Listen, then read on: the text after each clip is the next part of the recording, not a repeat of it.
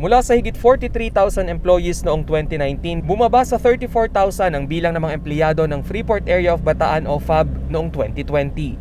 Ito'y dahil sa nararanasang economic slowdown na dala ng COVID-19 pandemic. Nito lamang March 2021 unti-unti nang bumabalik ang operasyon ng ilang kumpanya. Rason para bahagyang umakyat ang employment population ng Freeport sa 38,182. Tumaas man ang bilang malayo pa rin ito sa higit 40,000 manggagawa bago ang pandemya. Kung kaya't ang alyansa ng manggagawa ng Bataan Workers for People's Liberation, Freeport Workers League at Youth for Nationalism and Democracy nagtayo ng Pagdadamayan Pantry. Ito ang kanilang bersyon ng community pantry kung saan manggagawa sa loob ng FAB ang pangunahing nakatanggap ng ayuda. Isa sa mga benepisyaryo ay si Leonora Celis na nawala ng trabaho dahil sa pagsasara ng pinapasukang factory ng bag. Araw-araw umano'y inaalala niya ang ihahapag na pagkain para sa kanyang tatlong anak. Byuda na rin kasi si Aling Leonora kaya't wala na siyang makatuwang sa paghahanap buhay.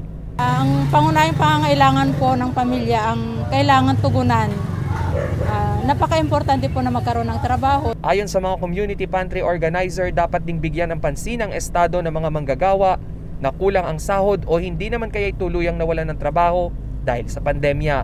May mga kumpanyang hindi nag-ooperate katulad ng kumpanya namin, ang desktop, um, since 2020, nung panahon ng lockdown ay ilang buwan lang nag-operate at pagpasok ng 2021 ay hindi na siya nag-ooperate. Kaya yung mga manggagawa ay gumagawa lang ng paraan sa pang-araw-araw para maitawid yung hanap buhay yung pang-araw-araw nilang pangangailangan.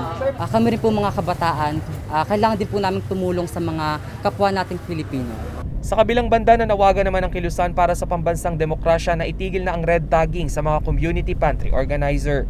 Ang tinutukoy ng grupo ay ang pagre-red tag ng Quezon City Police at NTF-ELCA kay Ana Patricia no na siyang nagsimula ng maginhawa community pantry. Tingnan na lamang umano itong tulong ng pamahalaan mula sa taong bayan. Iyakin nila na walang magugutom para walang mga ganitong klase ng pantries.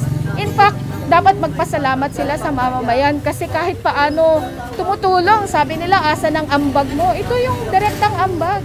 Ang community pantry ay tinaguri ang makabagong pagpapakita ng bayanihan spirit ng mga Pilipino na tulong-tulong sa pagharap sa hamon ng buhay. Rainiel Pawid, CLTV News.